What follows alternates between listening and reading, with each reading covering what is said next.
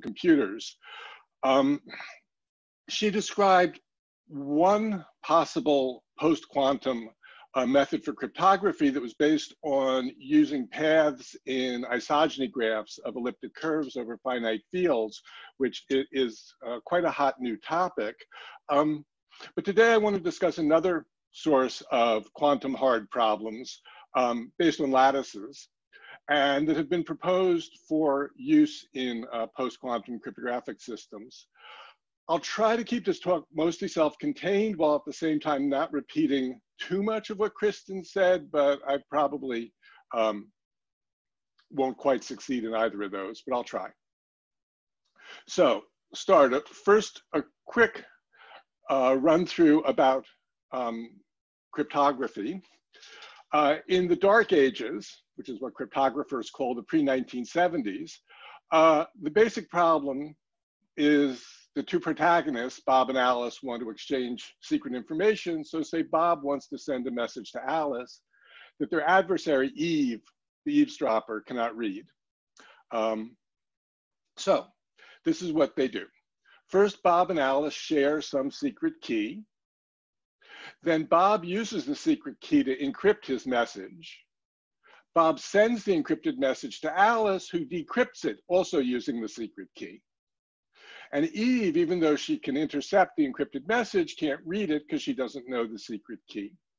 Um, I'll just mention that in cryptography talks, people tend to put things in red if they're secret and in green if they're public knowledge. So that's what the color encoding there is. It's to kind of help keep track of what's what. Um, the problem with this is that Bob and Alice can't exchange messages until they've exchanged a secret key. So they have to meet up in some way or other, or they have to send the secret key by some channel that potentially could be intercepted. Um, and this is how cryptography worked from um, who knows how long ago, up until the 1970s. And there's the problem, that they need to exchange or share a secret key before they can get going. Um, so what happens if they've never met and they have no secure communication channel? Um, and this became especially relevant once the internet existed. So for example, if Alice is Amazon and the message is Bob's credit card number, they've never previously communicated, but he wants to send his credit card number so that he can buy stuff. Okay. So in the mid 1970s, Diffie and Hellman proposed creating a creating cryptosystems that use two different keys, a private key that Alice keeps secret and a public key that she publishes. And the idea is that Bob only needs the public key to encrypt his message and create the encrypted message. Okay, so the um, cryptographic terms for the, the message is usually called the plain text and the encrypted message is the ciphertext. Alice uses the private key to decrypt the ciphertext and recover the message. But Eve can't do that because she doesn't know the private key, she only knows the public key. Um, and in the interest of historical accuracy, I should mention that the British Secret Service kind of worked this out also, but they didn't publish any of it till much, much later.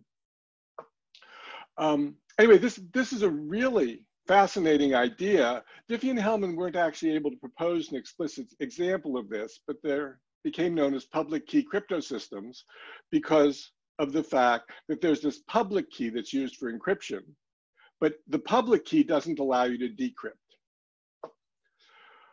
All right, let's formulate this mathematically since we're all mathematicians.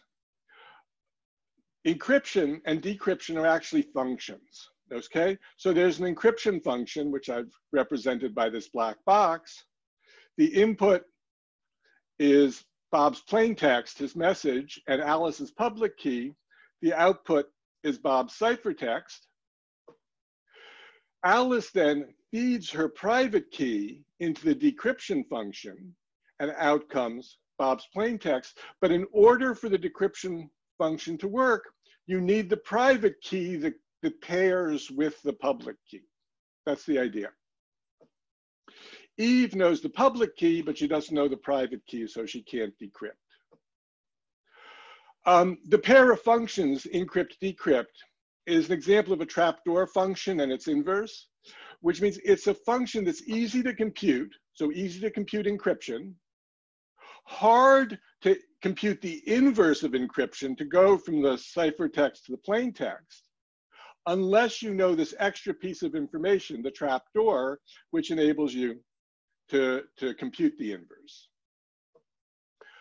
All right, that's, that's how to send messages. Another side of public key cryptography, which is really important, um, is digital signatures. So I wanna just quickly mention how those work also. Here, Alice has a document that she wants to sign. It could be a contract. Um, uh, a publisher might want to digitally sign a book or, well, I'll get to another application later. And so instead of encrypt and decrypt functions, there's a sign function and a verify function. And what she does is she takes her document, which is public, and she also feeds in her private signing key, runs them through the function, and gets out her signed document. Now what happens? Well, Bob or Eve, or anyone for that matter, takes the signed document, takes Alice's public verification key, runs them through the verif verify function, and gets either yes, the signature is valid, or no, the signature is not valid. And if the public key and the private key are a matching pair, then the answer should be yes. Digital signatures are at least as important as public key crypto systems in, for modern communications. Um, a typical example, I mean, your cell phone, cell phone is constantly updating the apps. And how does it know that an app update is legitimate? And it really does need to know that because there are lots of uh, players out there who would love to install software on your phone. The answer is that when the app is created, it's digitally signed by the manufacturer, and your phone verifies the signature of the update before it installs it. Okay, how does one build a trapdoor function to use for public key crypto systems or digital signature schemes? Um, so cryptography tends to have a lot of abbreviations. I think computer science probably does too in general, but um, so PKC is a public key crypto system, DSS is a digital signature scheme. Anyway, we want to build these from hard math problems. Here are three examples that have been used quite a lot. There's the integer factorization problem, which is given two prime numbers, if I tell you their product, PQ, it's hard for you to find P and Q. There are various ways to exploit this. One of the most common, and the first one, was using the uh, powering function.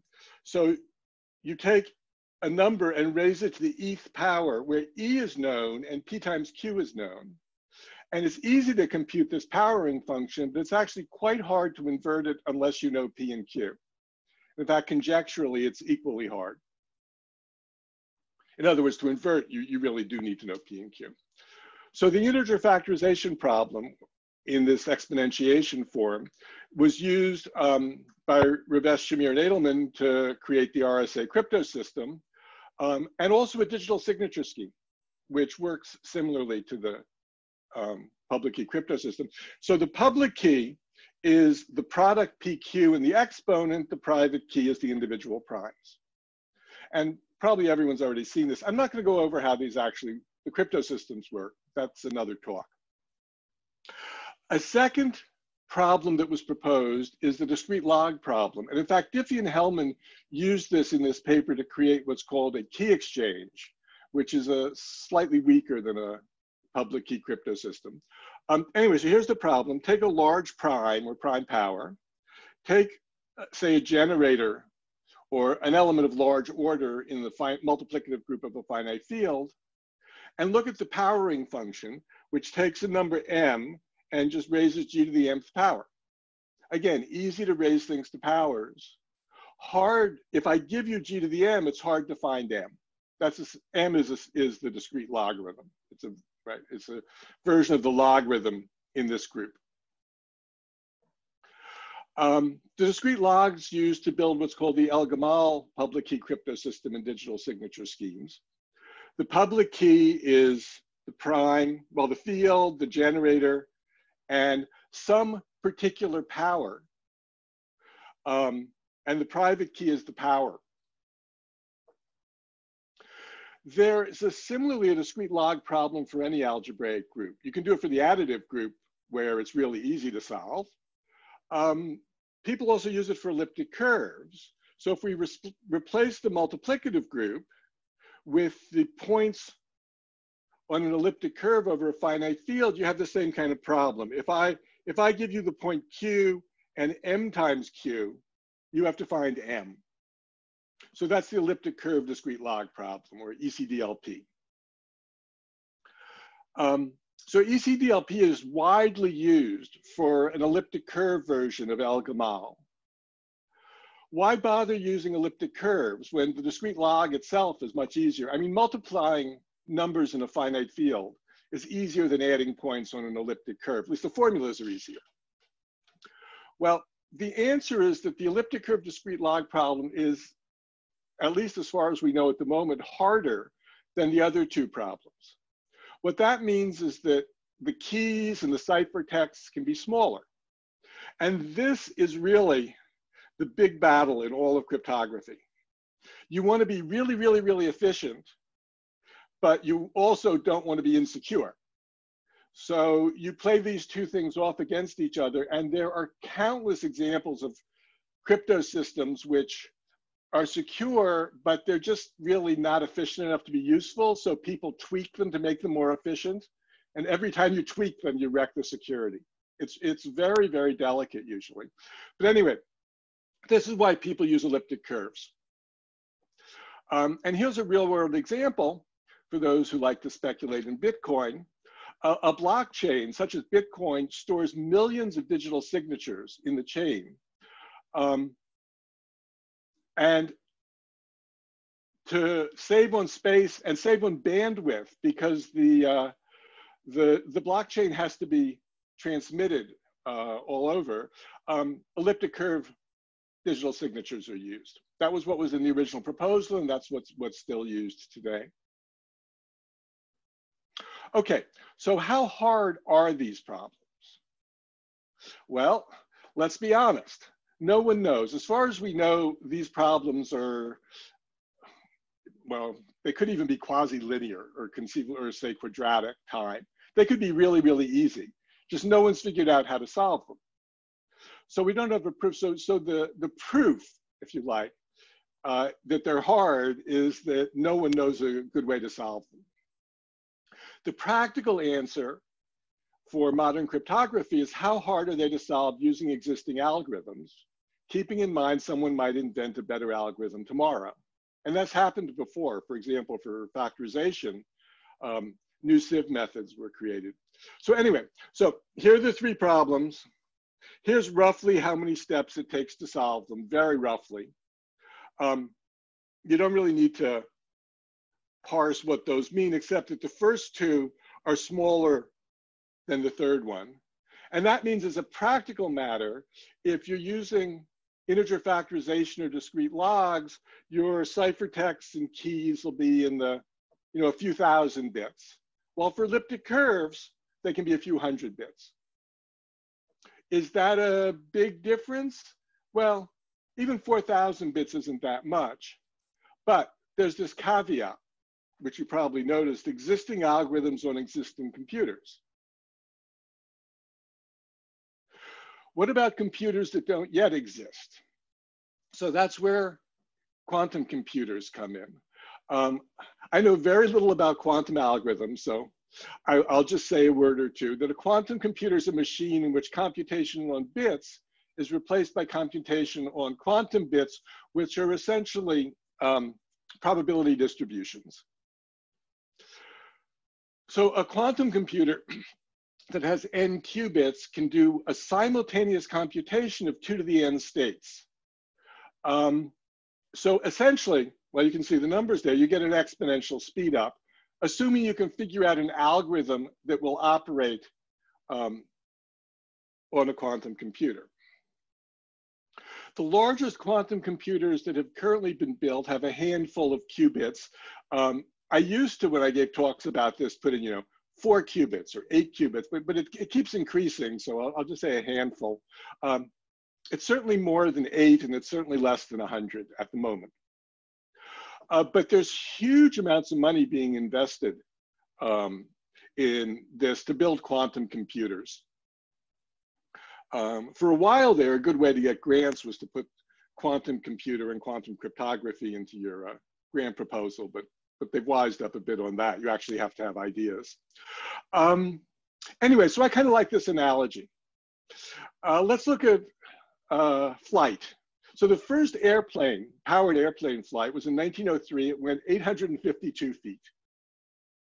15 years later, there were aircraft all over the battlefields of World War I. And 20 years after that, we had jets going 500 miles an hour. So, I mean, yes, building airplanes maybe is easier than building quantum computers, though maybe not. I mean, they're pretty clever engineers. Um, but if you want to predict what's going to happen in 10 or 15 years, tricky. If you want to predict what's going to happen in 40 years, that's really, really hard. So, where did all of this start? Far as I know, is this paper of Peter Shor's in 1994 called Polynomial Time Algorithms for Prime Factorization and Discrete Logarithms on a Quantum Computer. And he gave algorithms that would run on a quantum computer that would solve the integer the, that would solve factorization of integers and discrete logs in polynomial time. In fact, more or less in quadratic time. They're really fast algorithms. And although I don't think the original paper mentioned it, uh, you can adapt the discrete log thing to do elliptic curve discrete logs too. So a full-scale quantum computer will pretty much kill all the classical public key cryptography that I mentioned on previous slides. So people started looking for computer systems that couldn't be broken by a quantum computer. What do I mean by couldn't be broken? I mean, as far as we know, no one has created, no one has figured out an algorithm on a quantum computer to break them. Will someone find such algorithms tomorrow? Who knows? Um, but that's about the best we can do at the moment. So the field's currently called post-quantum cryptography. Post-quantum really meaning post-quantum computers, when, when quantum computers are built. So here's a little bit of what's happening in the real world. Kristin already mentioned some of this. In 2016, the NIST, the US National Institute of Standards and Technology, which has been running crypt cryptography competitions to pick crypto systems for use, public things that, I mean, they're, they're really good. They issued a report on post-quantum cryptography. So this was their best estimate, meaning some expert panel, that they were guessing a quantum computer capable of breaking 2000 bit RSA, which is fairly standard at the moment, um, to break it in a matter of hours could be built in 2030. So at that point, it was 15 years, now 10 years, for a budget of about a billion dollars. So start saving your pennies, and in 10 years, you'll be able to buy your snow. But a billion dollars for a government is really not very much money. And in fact, a billion dollars for a criminal enterprise, that is a lot of money. But if you could use it to strip the full worth of all the Bitcoin uh, wallets in, in, existence, it would be money well spent. Um, so anyway, so, so NIST instituted a competition to create digital signatures, dig, digital signature schemes and public key encryption schemes um, that are that would be safe, including after the advent of quantum computers. So how did they do that? Well, they solicited proposals. They got, I meant to look it up, at 40 or 50 or 60 proposals at least. Um, and there was a public comment period and a lot of people weighed in and then they um, eliminated some of them and there were more comment periods and revisions and things. Um, so actually I got, I got just got to update this. So last week they got down to their round three candidates. And the round three candidates include four public key crypto systems and three digital signature schemes that are um, under primary consideration. And there were another about maybe six of each that are under secondary consideration still. So that brings me to the mathematics part of the part, talk, which was about lattices. So for the rest of the talk, I want to talk about uh, a little bit about lattices and hard lattice problems, and then explain how they can be used to create public key crypto systems or digital signatures. And then at the end, I'll talk about a particular system um, that actually was invented quite, quite a few years ago, but some of us recently have been working with to um, use it for some particular applications, which I will get to at the end if I have time, which I might actually have time for. I hope I didn't zip through that too quickly, um, but I wanted to get the math part. Okay, so public key crypto and hard lattice problems. In the mid 1990s, right around the time that Shor's uh, paper appeared, a bunch of cryptographers and mathematicians were looking at hard lattice problems um, to use them for cryptography. This wasn't because of quantum computers, which no one at the time, I think, really had in their on their radar screens. Um, but they were doing that for the following reason. First, Ajtai and Dwork in this beautiful paper um, created a public key crypto system whose sort of worst case um, security, uh, I'm sorry, whose average case security was equal to its worst case security, right? So just think back to RSA with integer factorization. Even if we could prove that um, there are products of primes that are hard to factor, that doesn't mean that the two particular primes you chose are hard to factor their product.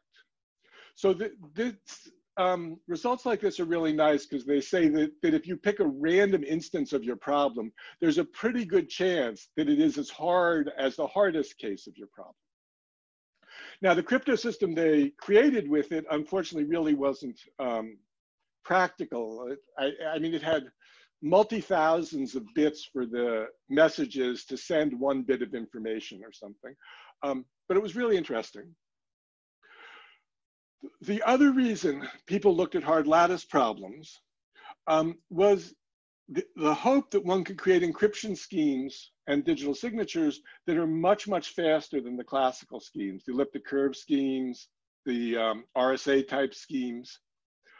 Um, I mean, those schemes are relatively fast. There's no problem on a processor like on your phone, but for example, if you wanted your uh, the chip on your credit card to do digital signature processing, there's not much processing power there. Um, so Jeff Hoffstein, Jill Pipher, and I started working on this in, in the mid 1990s, and Goldreich, Goldwasser, and Halevi also independently were working on it. Um, neither of us knew the others were doing it at the time. But later, interest in these systems really blossomed because it was pointed out that, in fact, there are no quantum algorithms that will solve these hard lattice problems in polynomial or even sub-exponential time.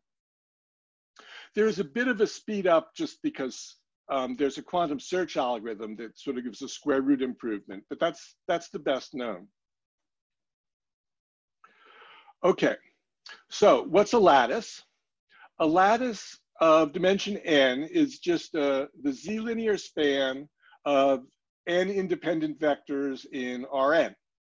So it's just, we, we pick V1, V2, Vn um, to be a basis of n space, and we just take all the linear combinations, but with integer coefficients. The vectors v1 through vn are a basis for L, but of course a, a, lattice will have lots of bases, just like a, well, I mean, a vector space has lots of bases.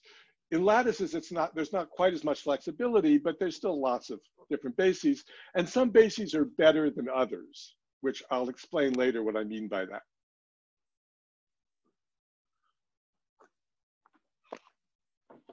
So a useful concept is if you're given a basis, then the fundamental domain for the lattice is the parallelepiped, so a higher dimensional parallelogram, where you just take the linear combinations of the basis vectors with t running from zero to one. So that's lots of definitions, but a picture makes it really clear. Here's an example, a two-dimensional example.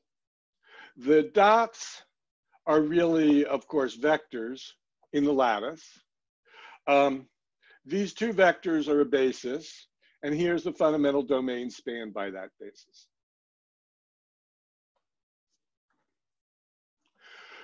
So in lattices, there are two real, well, there, I mean, there are lots of problems one can formulate, but two really, really important computational problems, which had been studied long before any of this crypto stuff uh, came about, are the shortest vector problem and the closest vector problem. Again, with the abbreviations SVP, CVP. The shortest vector problem, it's exactly what it sounds like. Find the shortest vector in the lattice. Well, the shortest non-zero vector. Oh, I write it, the lattice is a group, it always contains zero. A closest vector problem is given a vector that's not in the lattice, find the lattice, we'll find a lattice vector that's closest. Now, both of these have approximate versions too, which is what's used in cryptography and actually in many applications. Rather than finding the shortest non-zero vector, it's often enough to find a vector that's quite short or find a vector that's quite close to t, even if it's not the absolutely closest vector. Okay, so in practice, these two problems are more or less of equal difficulty. Um, I think there's actually a proof one direction and a plausibility argument the other, but anyway, in, in practice, solving the closest vector problem in dimension n, you can usually set it up as a shortest vector problem in dimension n plus one. So more or less the same. So I'm going to ignore this di distinction. So how does one try to solve the closest vector problem? Here's an idea. So these two vectors are my basis vectors, okay? So someone gives me this target vector, and I'm trying to find a close vector in the lattice. So what do I do? Well, I take the fundamental domain that I, you know, this is the standard fundamental domain, and I translate it so that the target point is in the translated fundamental domain. That's actually easy to do, in fact. Um, I'll say it in words. Mathematically, just express T as a real linear combination of the basis. Uh-oh. Are you hearing this? No. We are You're not hearing? Yeah, it's fine. we are hearing you, but nothing. Huh. At least Okay, hold on one second. I, I, I'm hearing feedback. I'm gonna turn off my um, headphones. I do hear you. I can hear you. So we hear you well, Joe. We- I can hear you.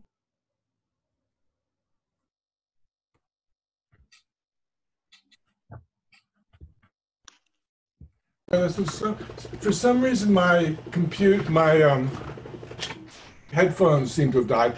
Um, can you hear me? Now we hear you. Yes, we hear you. Okay, no, I'm using the, the computer's um, microphone now, and I'll speak louder. Okay, No, good. actually, I hear you even louder now. So Are you louder? Okay, so I'll be quieter. no, no, no, no, no. Okay, anyway, if I'm not loud enough, tell me. Um, anyway, you, just take the vector t and write it as a real linear combination of the um, basis vectors and take the greatest integer of each coefficient. Um, and, and, and you'll get this fundamental domain that contains the um, target vector. And then you just take the vertex in that fundamental domain that's closest, and there's your candidate. And you can see, I, I did, I found the closest lattice point to the target vector. But I was kind of, the reason that works is because this basis is reasonably orthogonal. So that's what I mean by a good basis, a basis that's fairly short and reasonably orthogonal. So let me give you an example of a bad basis. So the red basis here is a good basis. You can see it's fairly orthogonal. These two green vectors span the same lattice, but they're not orthogonal at all. Now look what happens if I try to solve the closest vector problem using the bad basis. There's a target point, I just kind of chose at random. This is the fundamental domain, this, this long skinny thing that contains the target point. So I choose the vertex of the fundamental domain that's closest. There it is. Not so bad, except that is not the closest lattice point, right? The closest lattice point's here, the red point. Okay.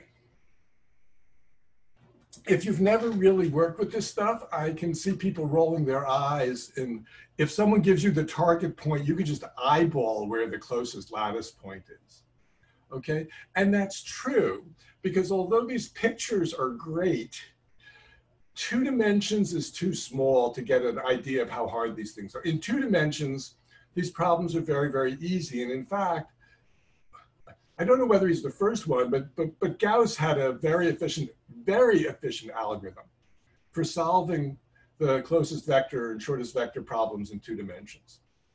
And actually, it's pretty easy in dimensions three, four, five, 10, whatever. Um, and during, in, in, the early 1980s, uh, Lenstra, Lenstra, and Lovász came up with a lattice reduction algorithm, now called the L-cubed algorithm, um, that's actually pretty efficient even in higher dimensions. Um, and their algorithm has been extended and um, by, by a whole bunch of people. That there's a lot of research and ongoing research um, on lattice reduction algorithms. And L-cubed finds a pretty good basis in polynomial time. And that suffices for many applications. Well, polynomial time in sort of the coefficients of the basis vector. Um, yeah, okay. No, I'm sorry. Polynomial in, in the um, dimension of the lattice. But if you want to find a really good basis, um, even using lattice reduction algorithms like L cubed, um, the problem still seems to be exponentially hard, exponential in the dimension. So dimension 10, not so bad. Dimension 50, getting harder. Dimension 10,000, no way. Um, and the really important thing for all of this in terms of quantum crypto is there are no known quantum algorithms to solve shortest vector or closest vector problems in polynomial or even sub-exponential time, even if you have a working quantum computer with lots of quantum bits and lots of quantum storage. Okay, so I thought I'd explain how one can create a digital signature scheme using the closest vector problem. This one's not actually efficient enough to be useful, but it was um, one of the earliest ones that was proposed um, by Goldreich, Goldwasser, and Halevi. So there's the good basis. That's Alice's private key. Here's her good basis. And here's the bad basis. That's her public key. So Alice publishes, publishes these two vectors. Now, she wants to sign a document. Technically, she runs her document and her public key through what's called a hash function. Anyway, it, it's used to create a random vector that is tied to her document. Okay? and probably tied to her, her public key also. But anyway, so, so there's this random vector. That's not a lattice vector. Now, Alice knows this good basis, right? So she can use that procedure I had on a couple slides ago, just by taking the fundamental domain for this basis, translating it until the target point's in it, and then picking the closest, um, closest vertex in that fundamental domain. So she can find a nearby vector. It may well actually be the closest lattice vector. In any case, it's very close. because she has this good basis she can use. Notice that when Alice publishes this vector, the way she publishes it is she publishes it as multiples, as a linear combination of the bad basis. So she uses her good basis to find the signature vector, but she publishes it as a linear combination of the bad basis. That means Bob or anyone who wants to verify the signature, well, they can check that the signature vector, the lattice vector she published, is close to the document vector. That's just checking distances. And they can check that the signature vector is actually in Alice's lattice because they can check that it's in the lattice generated by the bad basis. Right? If I give you two vectors and I give you a third vector and ask is it an integer linear combination of the first two vectors, well, that's easy. You just write it as a real linear combination and check if the real coefficients are integers. Okay? So, the GGH digital signature scheme versus L cubed. The security comes down to how good L cubed is at solving this closest vector problem which basically comes down to how good is L cubed at finding a pretty good basis. And the answer is in dimensions less than a less than 100, um, versions of L cubed finds a good enough basis to break GGH. And even up to around 200, you would probably break it. Um, but uh, GGH public key, remember, is a basis for the lattice. So that's n vectors, each of which has n coordinates. So that means the public key has about n squared bits. n squared, well, big O of n squared. And that gets pretty big if n is, you know, like 500. So if you take a value for n that makes GGH secure, the keys are likely to be on the order of two megabits or so. You remember how big the elliptic curve keys were? They were like three or 400 bits. So this is or, many orders of magnitude larger. Okay, so independently of the work that, that GG and H were doing, and more or less at the same time, Jeff Hoffstein, Jill Pipher, and I uh, we're working in a public key crypto system called NTRU. And I really, actually, I really want to stress this was really Jeff Hoffstein's idea, and he recruited Jill and me to help him develop it. And um, so, I mean, we did develop it as a team, but the initial idea was really Jeff's. Um, and NTRU is also a lattice-based system, but it uses what I'd call a cyclotomic lattice which means that the basis vectors are, um, well, actually, they're just barrel shifts. The, the coordinates are just barrel shifts of one another. So basically, you can specify the entire lattice just by giving one vector and use it to generate the other um, basis vectors. So this added symmetry allowed us to get down to keys that were roughly RSA size, not all the way down to elliptic curve size. That would be the gold, gold standard but um, you know, two to 4,000 bits or 8,000 bit keys, say. There are now lots and lots of cryptographic constructions based on hard lattice problems. And most of the round three proposals, uh, NIST round three proposals, in fact, are lattice based. So in the remaining um, you know, 10 minutes or so, I'd like to describe an old lattice-based system, which actually, I mean, it, the original sort of prototype for it actually predates NTRU by a few years even, but it's been modified and changed over the years in various ways. Um, and the reason I thought I'd describe it is twofold. First, it's actually based on some kind of cool mathematics. Um, and we, I'll mention who, um, recently figured out how to use it to do signature amalgamation. And I'll mention at the end why that's an interesting thing to do. So a prototype of, of PASS, as in a little note at the bottom, dates back to 1997, and many people have worked on developing it and doing things with it. I list a bunch of the names down there. Um, and I apologize if I've left anyone out. So, although uh, although PASS is a ultimately a lattice-based system in the sense the security depends on the difficulty of a hard lattice problem, the way it's really constructed uses the discrete Fourier transform, which is the cool math. At least I think it's cool.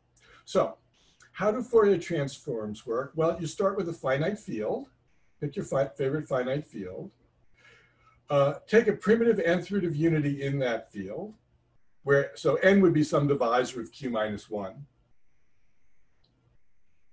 And just for, for now, sort of file in the back of your mind, a subset t of the numbers from zero to n minus one, rough, roughly half the numbers from zero to n minus one, okay?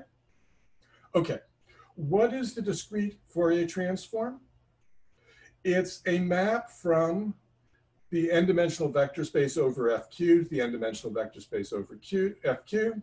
It sends the vector ai, so that's a1 through an, to the vector ai hat, where ai hat, the, co the coordinates of the Fourier transform, are just obtained by taking the coefficients of the original vector, basically using them to form a polynomial, and plugging in values of zeta, uh, powers of, of zeta. 1, zeta, zeta squared, zeta cubed.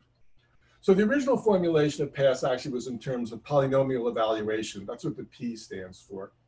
Um, well, you can think of this as multiplying the original vector by this van der matrix that has powers of zeta in it. Anyway, that's the discrete Fourier transform. Um, for cryptographic purposes, the n's that we use are not that big. They're in the thousands. So, I mean, computing this is not that time consuming anyway. But of course, as, as people probably know, there, there are fast Fourier transform methods. So in principle, there are n coordinates here, each of which takes time n to compute. So that's O of n squared.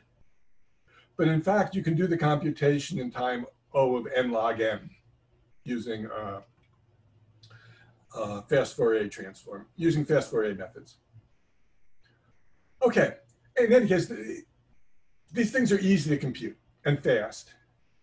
And in fact, it's invertible that this is a bijection. Uh, as long as long as um, well, well, yeah, and, and n's relatively prime to q. It's a bijection, and it. I may be cheating a little bit here, but essentially it gives a ring homomorphism and it's a really cool ring homomorphism because what we do on the left hand vector space, we use convolution product, um, which if you know convolution product, um, fine. If, if you don't, basically think of the vectors here as actually just being coefficients of a polynomial. Then multiply the two polynomials and set um, x to q minus x, set x to the n equal to one. So that's uh, some sort of multiplication on this side. And on the other side, we take multiplication where we just multiply component by component. Okay? So the multiplication, the convolution multiplication is a bit more complicated than the component-wise multiplication. Anyway, this is all really standard um, uh, classical mathematics. So the problem that I want to use is what's known as the partial um, Fourier transform problem. So suppose instead of giving you the entire list of uh, Fourier coefficients, I just pick out some of them using this set T of indices, okay? So I'll let A hat sub T just be the Fourier coefficients for the indices in T. So I'm gonna give you half the Fourier coefficients, say. And my challenge to you is find the vector I started with. Well, you can't do that in general because I could have started with lots of vectors. Remember, I said this map is one-to-one. -one. But if I take, if I only give you some of the coordinates here, there'll be lots of coordinates that get mapped to it. I mean, the kernel of the linear transformation will be big. But I'm also going to give you extra information.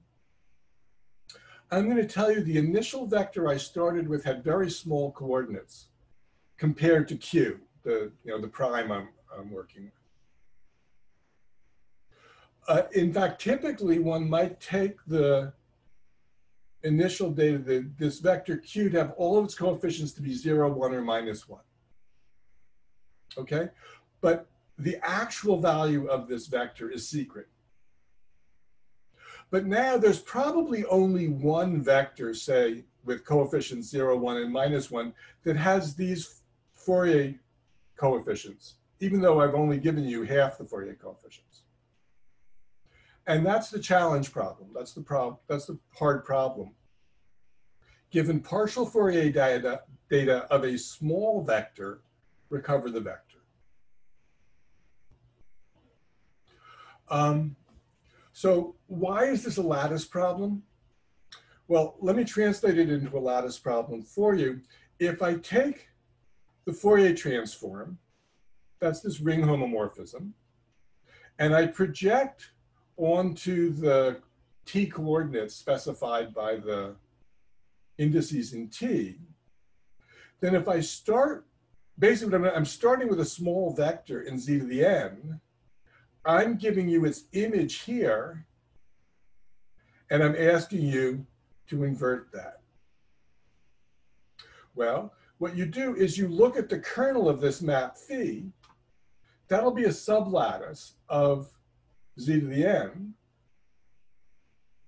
So here's how you can solve the problem at the top of this slide. First, I'm giving you a point here this is just a linear transformation. Pick any vector in the domain that goes to the target vector, okay? That's just a, a linear algebra problem, basically a linear algebra problem over FQ. It won't be the right answer because the vector you get will have large coordinates, but it's a candidate. So you pick a vector which has the right image, okay? Um, then that's a vector in this, um, well, now you find a vector in this kernel lattice that's close to alpha. That's a hard problem. That's a closest vector problem. But if you can solve the closest vector problem, um, then, then you can do that. So if you choose parameters, this will be a hard closest vector problem um, in general. And then in fact, the target vector, my secret vector, will simply be this arbitrary um, vector that goes to the right place minus the vector in the kernel that gets you a small vector, okay?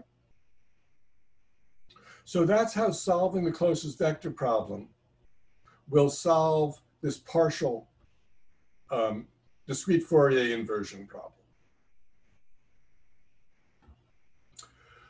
Oh, good. Okay. So I have like two more slides, I think, maybe three. Um, so here's how to use that to create a digital signature scheme. Alice's private signing key is just some short vector, say with all ones, minus ones, and zeros. She publishes its Fourier transform, but only part of the Fourier transform. If she wants to sign a document, she chooses a random vector, completely random. She uses the partial Fourier transform of that random vector and her document to create a random vector in um, FQ to the n. This gamma ties her, will tie her signature to the document. She computes her secret short vector, convolution product, this, vec this vector that um, she created with the hash, or that should be red actually, plus the random vector. And her signature is the partial Fourier transform of the random vector and um, the signature vector. How does Bob verify the signature? Well, first, he knows this partial Fourier transform of the random vector. He knows the document, so he can do the hash, he can recreate gamma. Well, since he knows all of gamma, he can compute its Fourier transform. He does a computation in the ring where you're just doing coordinate-wise multiplication to compute, and, and he checks that that matches up with the partial Fourier transform of Alice's signature. He knows the whole signature vector, so he can compute this. And also he checks that that signature vector was short. Okay. So I, this is a lot to take in if you haven't seen it before, but I just wanted to indicate it, it's really just very straightforward computations in these two rings, one where you're doing convolution product, one where you're doing coordinate-wise product. And taking these Fourier transforms, which is just a linear transformation. Okay, so the classical schemes based on integer factorization or discrete logs will be killed off by quantum computers. The digital signature schemes in the NIST competition, in the round three NIST competition, their signature sizes are at least comparable to RSA. They're in the thousands of bits. Not to this gold standard where, you, where the keys and, and messages are in the few hundreds of bits and the signatures are in the hundreds of bits. Um, is that important? Well, depends on the application. For your computer, for your cell phone, 4,000 bit keys are fine. But for blockchains that where you're storing and transmitting millions of signatures, this extra order of magnitude can make a difference. Um, so Doröz, Jeff, and Berk Sunar and I um, have been working on some stuff. We created a variant of PASS that allows you to am amalgamate lots and lots of signatures into one signature that's much smaller than storing all the signatures together. So one signature is, well, I wrote 2,000 bits or 4,000 bits. Anyway, it's, it's a standard sort of RSA size signature, okay? But if you wanna amalgamate n signature, n signatures, each additional signature it only takes you know a few hundred bits, so roughly elliptic curve size signatures. So basically you can store a million signatures in about the same size using this variant of PASS as you could using the elliptic curve systems. Why bother? Well, because at least potentially these lattice-based systems are secure against quantum computers while the elliptic curve systems aren't. So in conclusion, I want to thank everyone for being here, but this is my current mantra. Quantum computers are coming for you. Everyone should start preparing now. In particular, if you have something you want to keep secret for a year, don't worry about it too much. 10 years, you probably do want to worry. 50 years, I would not for example, sign a contract that you want to be secure for 50 years using any of the current systems without also adding a, a quantum secure signature. Um, you can do both. And that's what people should really be doing at this point. They should um, you know, put RSA signatures at, or elliptic curve signatures and one of these quantum secure signatures in at the same time. Anyway, so finally, thank you very much for coming. And I want to thank the organizers for inviting me to give this seminar, many of which I've attended. These have been really great. So I want to also thank all the people who have spoken at, at the uh, NTW seminar so far. It's been really wonderful. So thank you very much. Thank you so much, John, for your wonderful talk. Let us please unmute so that we can talk to Joe.